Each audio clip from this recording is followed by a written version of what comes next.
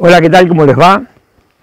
Siempre con un mate deseándoles felicidades. Lo voy a dejar, así me manejo un poco más suelto.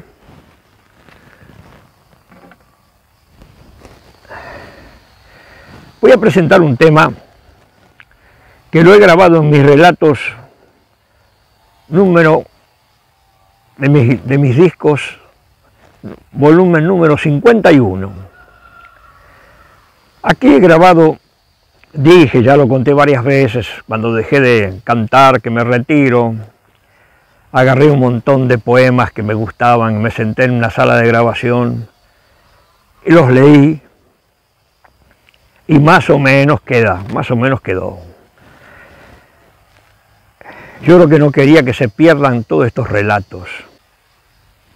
Presento un tema de Luis Domingo Vero poeta nacido allá por los pagos de Lobería, año 1920 y algo, compañero de huella, poeta de alta calidad que yo lo bauticé con el nombre del poeta chacarero, el poeta de la chácara.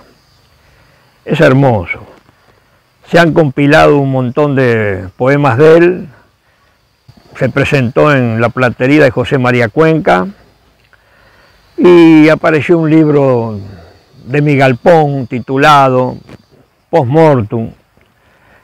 Grabé muchas cosas de Domingo Vero, muchas.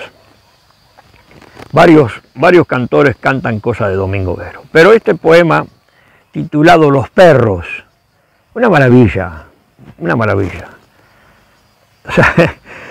salió al campo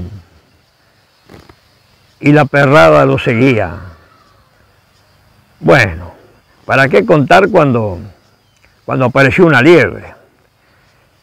Entraron a correr todos, hicieron un desparramo en el campo, hasta que la liebre encontró una cueva.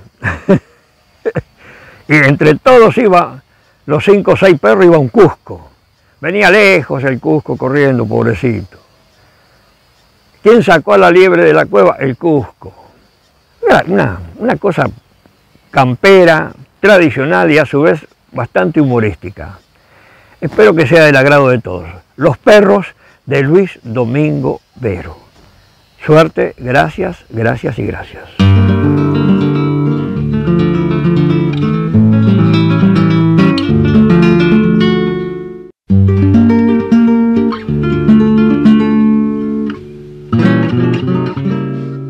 Salí a recorrer el campo y los perros que me vieron enseguida me siguieron. ¿Quién los hacía quedar? Y donde empecé a galopear, por detrás mío salieron. Y ya sobre el campo abierto su alegría se desata. Y a donde veían una mata, en el momento oportuno, iban pasando de a uno para levantar una pata.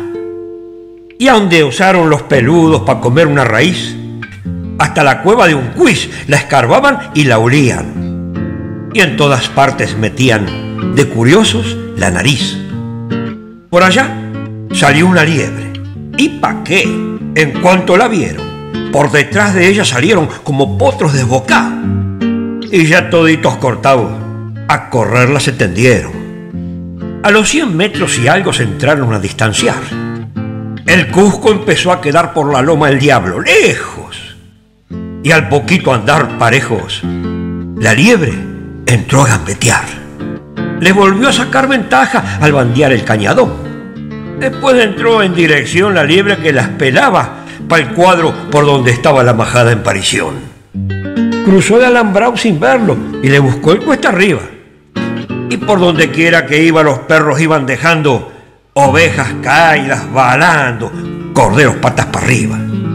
Cuando le dieron alcance, los tarascones le erraron. Y apenas la rodearon se ganó a una vizcachera y los perros en carrera casi de largo pasar.